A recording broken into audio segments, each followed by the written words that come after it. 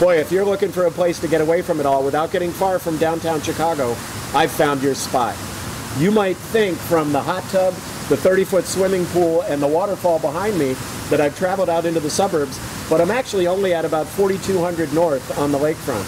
This pool complex and terrace create a wonderful hideaway.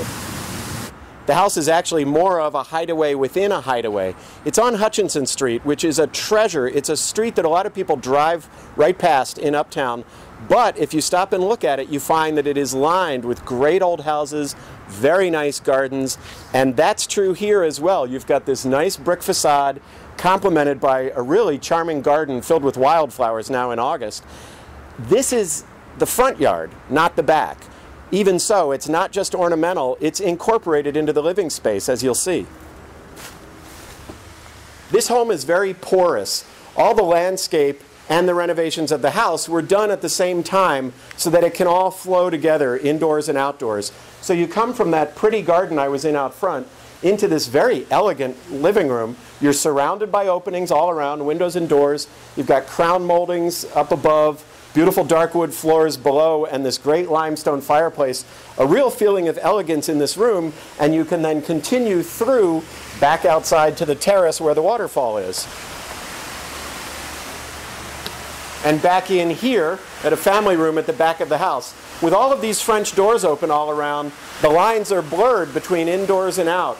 We might be out by the waterfall or in the hot tub. We might be in this sheltered terrace here, might be sitting in the family room here next to one of seven fireplaces in the home, some of them indoors, some of them out. Wherever you are here, you have close at hand the kitchen. Very nice, crisp space set aside here where it relates to so many of the spaces. There's a real feeling of openness all around, and then the complement to that begins here, where this very wide passageway contains a saltwater aquarium visible both in this room and in the dining room. And the dining room is the complement to the other spaces. It's more intimate, the wood is darker, it feels a little bit more surrounded. You have the elegance of the other rooms, but with a feeling of seclusion. When you come up to the second floor, you don't lose that connection between indoors and out. There are three terraces surrounding the second floor, sprouting from different rooms, and then there are, of course, big windows that look out not only on the tree-lined street and your own garden, but on a very big garden that is right next door. Inside the second floor and the third, there are four bedrooms in all, plus a library, and three of those bedrooms are all laid out as masters, so you have a decision to make. Let's see which one you would prefer. There's this one at the back of the house with a fireplace, the crown moldings. We'll see those in all the rooms. This one has access to two terraces, one in the sun and then one here that has a roof, so you can either sit in the sun or be protected from the rain. And there's this one, a larger one at the front of the house with a great view out into the trees of the neighborhood, again with the fireplace, really pretty bathroom and a terrace. And there's this one, the third, at the top of the house on the third floor. It's more secluded up here. It gets a whole lot of light from windows all around. It has more contemporary styling to the fireplace.